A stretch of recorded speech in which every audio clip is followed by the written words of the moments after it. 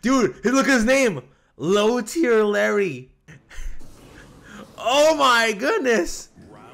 Is that supposed to be LTG? My whole life is. What's going on YouTube? Back again with a brand new video. This is a low tier fitness. Low tier fitness. This isn't low tier guy, I know that for sure actually, because he would not call himself Larry. But I love the name and I love what you're going for in terms of the look here. Woo, sidestep! Oh no, I couldn't get that death grab in. Oh, now I'm in a roll full of hurt here. Alright, I barely touched him. Barely touched him. Didn't even look like I touched him there. Oi! No! Wizard.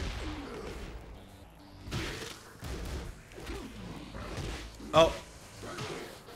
He stayed crouching a bit too long there. And that should be it. Alright.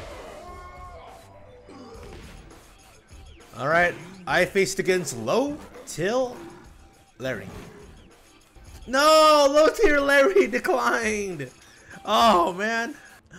Wait, you're supposed to like be one of those trolls who make fun of low tier god for not backing out, right? Isn't that the thing though? Like, isn't the whole thing, the whole appeal of like lol cows, or like one of the appeals of lol cows, is that like you can make fun of them because they're a bunch of dorks and like losers and stuff because you hold yourself high to like a higher standard. Come on, let's go play another game here.